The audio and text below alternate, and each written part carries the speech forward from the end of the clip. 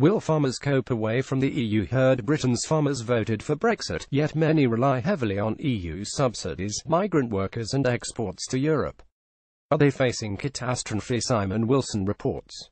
Did farmers vote for Brexit? The majority of them, yes 58%.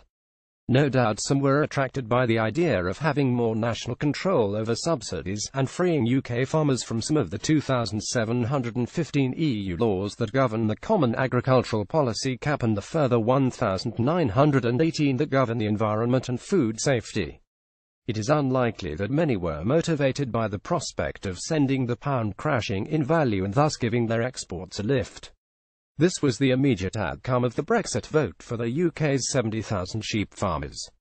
Unlike pig and poultry farmers, sheep farmers haven't been whacked by rises in the cost of imported feed since sheep eat mostly grass. Instead, the plunging pound made the lamb much more competitive, for now. For now in many respects, farmers' support for Brexit was very surprising.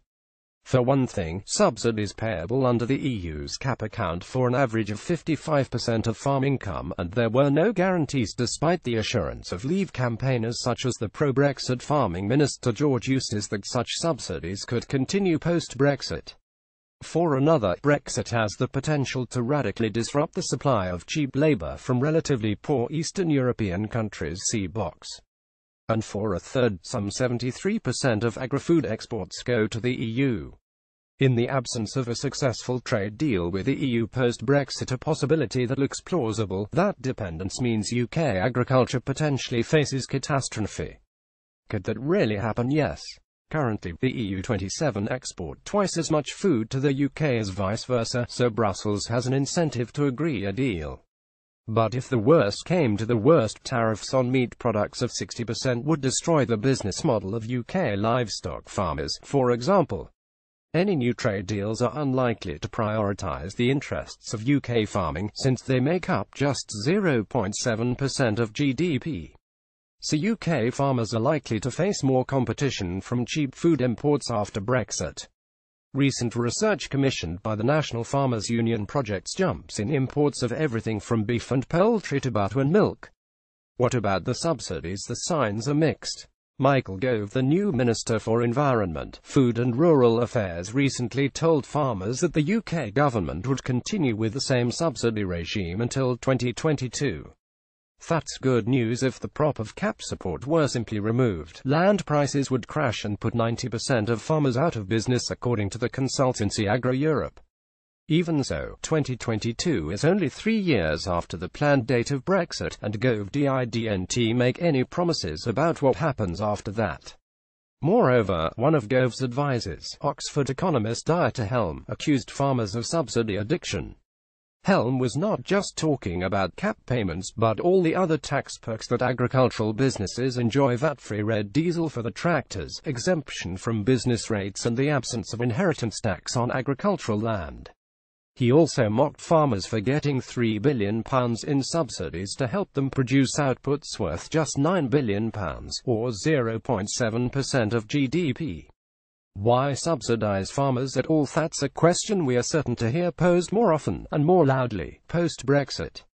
The basic case in favor of subsidizing agriculture is that it is both a strategic sector of the economy Britain imports about 40% of its food, and has a large food processing industry that accounts for about an eighth of the economy and one that is uniquely prone to outside shocks such as weather or disease. Also, farmland accounts for 70% of the total area of the UK. Farmers and landowners have a vital role to play in managing and protecting the environment, and should arguably receive some public subsidy for the role in doing so. But subsidies may not prove politically sustainable once they come direct from the UK Treasury. Every penny or every £3 billion pounds the UK allocates to farm subsidies is money that lots of voters would rather see spent on the NHS, social care, education and so on. So subsidies will fall in the longer term, almost certainly. The think tank Policy Exchange published a paper recently Farming Tomorrow arguing that all subsidies to farmers should be phased out over five years from 2020 to 2025, and government should instead focus any financial support on the role in protecting the environment. Gove hasn't gone that far. but he has implied that future subsidies post-2022 will be dependent on wider environmental benefits. For now, the road ahead for Britain's farmers looks muddy and full of potholes. With his characteristic optimism, Gove says we need to embrace Brexit as a once-in-a-lifetime opportunity to reform how we care for our land, our rivers and our seas, how we recast our ambition for our country's environment and the planet. It's a bold vision, all that's needed now are some concrete policies. Who will pick the strawberries? Britain's food processing industry is dependent on EU migrants. They make up 120,000 of its 400,000 workers. So, too, are the horticultural and fruit farming sectors, expanding and profitable sectors which largely rely on hand-picking and face massive labour shortages if access to low-skilled EU labour is curtailed. UK farms need about 85,000 seasonal workers annually to help harvest crops, and the effects of the Brexit vote were already being felt last autumn, says The Economist. The percentage of seasonal EU workers who failed to turn up for jobs they'd accepted rose from 2% at the start of 2016 to 8% by September. This autumn, reports abound of farms struggling to find workers.